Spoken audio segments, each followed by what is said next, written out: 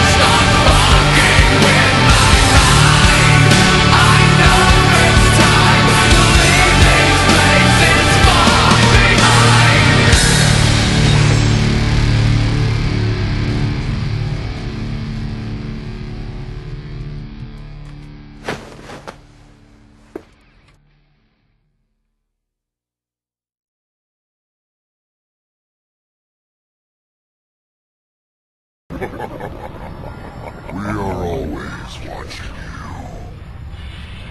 Your body belongs to us. You cannot escape. Your blood, your flesh, your rage, it's all ours.